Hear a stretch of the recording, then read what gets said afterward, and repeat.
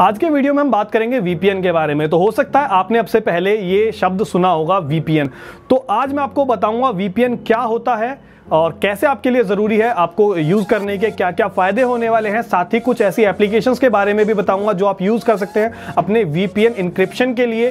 कुछ एप्लीकेशन इसमें फ्री होने वाली हैं, कुछ पेड होने वाली हैं। दोनों के बारे में आपको बताऊँगा, दोनों का काम भी थोड़ा थोड़ा अलग हो सकता है। तो अगर आपको वीडियो अच्छा लगे तो उस वीडियो को लाइक कर देना। अगर आप चैनल पर नए हो तो चैनल को सब्सक्राइब कर लेना ताकि आने वाले वीडियोज़ भी आपको इसी तरह से मिलते रहें।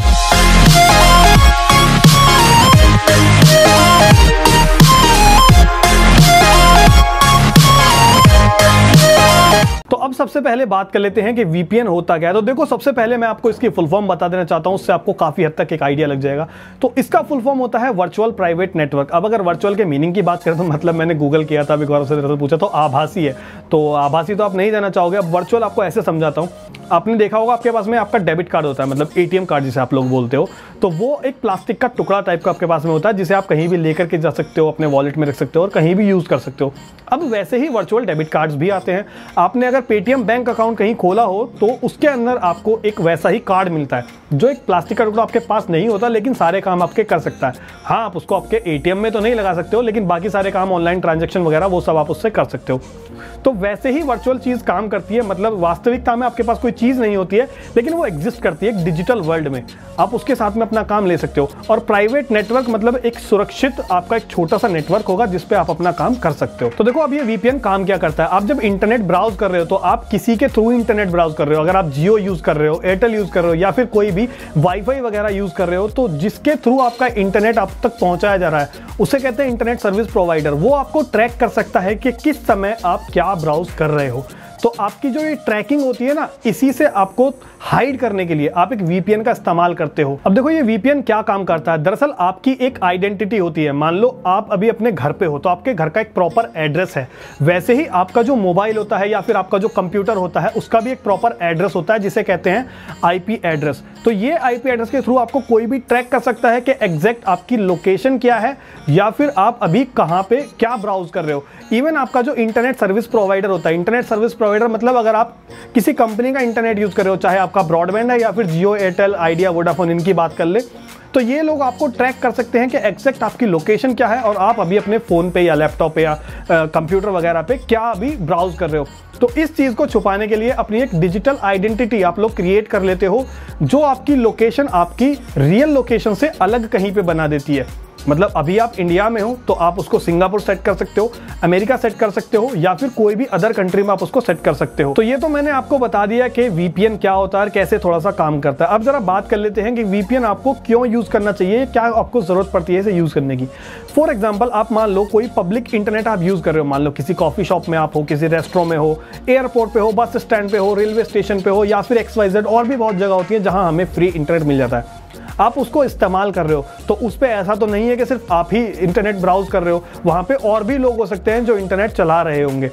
तो वहाँ पे आप अपने आप को उन सबसे अलग दिखाने के लिए, अपनी आइडेंटिटी छुपाने के लिए कि यहाँ पे इस नाम का मतलब इस आईपी एड्रेस का कोई डिवाइस है जो हमारे इंटरनेट को यूज़ कर रहा है। आप एक वीपीएन का इस्तेमाल कर सकते हो। वीपीएन आपके कनेक्शन को सिक्योर कर देगा इनक्रिप्ट कर देगा, जिसकी मदद से आपकी लोकेशन थोड़ी सी चेंज हो जाएगी वर्चुअली तो आपको कोई ट्रैक नहीं कर पाएगा कि एक्चुअली आप यहाँ पे इंटरनेट यूज़ कर रहे हो। और आप क्या ब्राउज कर रहे हो, उस पर क्या कुछ देख रहे हो, क्या कुछ चला रहे हो, वो भी वो नहीं देख पाएगा। अब वीपीएन के क्या कुछ बेनिफिट्स हो सकते हैं, वो मैं आपको थोड़ा बता देना चाहता हूँ। हो सकता है एक दो का मैंने पहले भी ज़िक्र कर दिया हो। तो देखो, सबसे पहली जो बात है, वो ये है कि वीपीएन के साथ में आप अपनी आइडेंटिटी छुपा सकते हो। मतलब आपके डिवाइस का जो एड्रेस होता है, जैसा अभी मैंने आपको बताया, वो आप हाइड कर सकते हो। इसके अलावा अगर आप कोई पब्लिक नेटवर्क पे इंटरनेट ब्राउज कर रहे हो तो वहाँ पे आप अपने आप को सिक्योर रख सकते हो इनक्रिप्टेड रख सकते हो, ताकि कोई आपको ट्रैक ना कर पाए। और एक चीज़ आप ये कर सकते हो कि आपकी जो वेबसाइट्स कुछ ऐसी होती हैं जो आपकी कंट्री में एक्सेस नहीं होती हैं। मतलब मान लो कोई एक पर्टिकुलर वेबसाइट है, वो अमेरिका के लिए बनाई गई है और वो अमेरिका में ही चलती है, लेकिन आपको उसको चलाना है तो आप क्या करोगे? सिंपली एक वीपीएन लोगे, उसके थ्रू आप जो अमेरिका का सर्वर है, उस पर आप कनेक्ट हो जाओगे।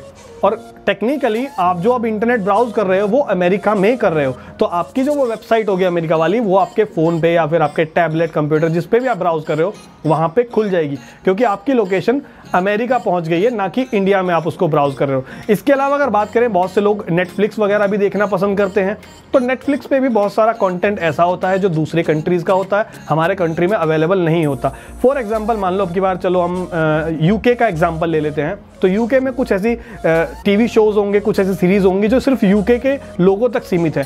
तो आप यहाँ पे यूके की कंट्री का कोई वीपीएन सर्वर अपने फ़ोन पे एक्सेस कर सकते हो और उसके बाद में आप जो नेटफ्लिक्स पे कंटेंट था यूके का, वो भी आप देख सकते हो। अब देखो, मैंने आपको वीपीएन के बारे में बताया, आप इससे काफ़ी सारी चीज़ें एक्सेस कर सकते हो। इसका मतलब ये नहीं है कि जो गवर्नमेंट ने ऐप्स बैन की थी, आप उनको चलाने लगो। देखो भाई, वो चीज़ इलीगल हो जाएगी कुछ लोग सोच रहे होंगे टिकटॉक के बारे में तो टिकटॉक भी मत चलाना। इवन अगर आप चलाओगे तो वो चलेगा भी नहीं, चाहे आप उस पर कोई भी वीपीएन यूज़ कर लो, क्योंकि गवर्नमेंट ने जो उसको बैन किया है वीपीएन के कहीं ज़्यादा ऊपर लेवल पे जाकर के उसको बैन किया है तो आप उसको वीपीएन के साथ भी एक्सेस नहीं कर सकते हो। और अगर एक और चीज़ आप ये सोच रहे हो कि मैं कुछ भी कर सकता हूँ वीपीएन लगा करके मैं पूरी तरह से सुरक्षित हूँ तो यार मैं एक चीज़ बताना चाहूँगा, आप कितनी भी सिक्योरिटी में रहो शेर के लिए जैसे सवा शेर होता है, वैसे ही यहाँ पे हमारे जो इंटेलिजेंस अलग अलग एजेंसीज हैं, उनमें बहुत सारे ऐसे एक्सपर्ट्स बैठे हुए हैं कि अगर आप कोई क्राइम कर रहे हो वीपीएन लगा कर भी इवन आपने एक से ज़्यादा वीपीएन की लेयर्स लगा रखी है, वो भी लग जाती हैं आजकल तो भी आपको ट्रैक किया जा सकता है। तो मैं बस इतना कहना चाहूँगा, आप इसे अपने हल्के फुल्के कामों के लिए इस्तेमाल कर सकते हो, अपने नॉर्मल से ट्रैकिंग वगैरह रोकने के लिए वीपीएन का इस्तेमाल करें,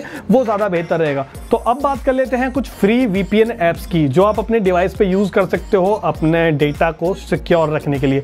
तो सबसे पहले फ्री वीपीएन ऐप जो आती है, वो है प्रोटोन वीपीएन उसे आप यूज़ कर सकते हो, इसके अंदर आपको कुछ लिमिटेड कंट्रीज़ के एक्सेस मिल जाते हैं, अगर आप फ्री वर्जन यूज़ कर रहे हो। इसके थ्रू आप अपना मतलब ब्राउजिंग वगैरह कर सकते हो। इसके अलावा दूसरे की बात करें तो वो है हॉट स्पॉट शील्ड वीपीएन मतलब ये भी काफ़ी ज़्यादा पॉपुलर है और इसको भी आप यूज़ कर सकते हो अपने डिवाइस पर। इसके अलावा जो तीसरा आता है, वो मेरा फेवरेट है और मैं उसी को यूज़ करता हूँ एज अ फ्री वर्जन तो यहाँ पे वो है ब्राउजैक तो ब्राउजैक आप इस्तेमाल कर सकते हैं अपने आप को सिक्योर रखने के लिए, अपने डेटा को इनक्रिप्टेड रखने के लिए। अब बात कर लेते हैं पेड वीपीएन की। तो पेड वीपीएन में क्या डिफरेंस है? पहले ये बता दूँ आपको। स्पीड जो होती है ना, उसका थोड़ा सा फ़र्क है। मतलब आप फ्री यूज़ करते हो तो फ्री पे आपको स्पीड थोड़ी कम मिलेगी। लेकिन अगर आप पेड सर्विस यूज़ करते हो वीपीएन की तो वहाँ पर आपको स्पीड थोड़ी सी ज़्यादा मिल जाती है। इसके अलावा अगर कंट्री ऑप्शन की बात करें तो फ्री के अंदर आपको इतने कंट्री ऑप्शन नहीं मिलते हैं, जबकि पेड के अंदर आपको काफ़ी सारे कंट्रीज़ अवेलेबल हो जाते हैं, वो आप आराम से यूज़ कर सकते हो।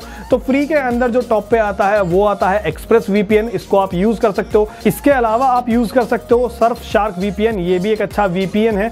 और इसके अलावा एक और जो वीपीएन है, काफ़ी ज़्यादा पॉपुलर भी है, वो है नॉड वीपीएन तो तीनों वीपीएन काफ़ी अच्छे हैं, काफ़ी ज़्यादा पॉपुलर हैं, काफ़ी ज़्यादा ट्रस्टवर्दी हैं।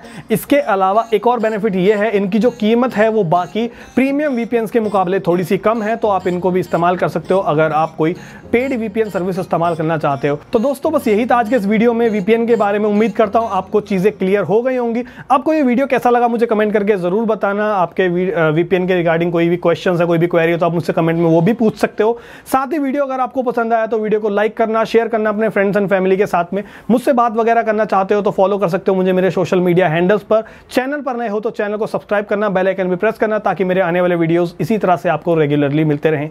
मैं आपसे मिलता हूँ आने वाले वीडियोस में, तब तक के लिए गुड बाय